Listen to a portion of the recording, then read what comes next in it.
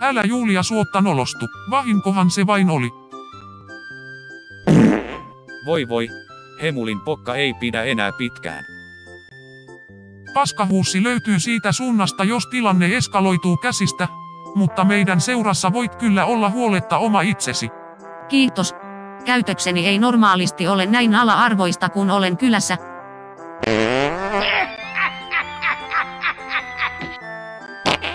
Voi valtava. Nyt tulee jo köntsät housuun. Mitä minä nyt teen? Tuollako se käymälä oli?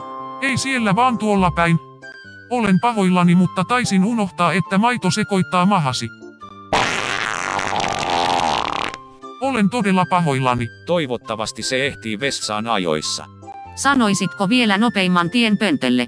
Ulkohuussiin saatat vielä ehtiä.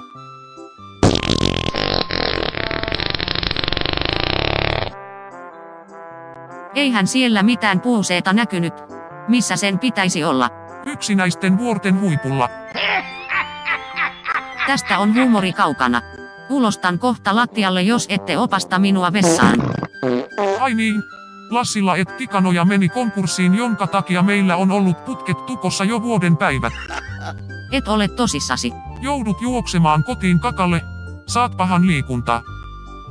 Jäi kyllä paskan maku suuhun näistä kahvikutsuista. Niin ja tänne jäi haju. Turhaan sitä enää kiirehtimään kun kaikki on jo puntissa. Kiitos Jan.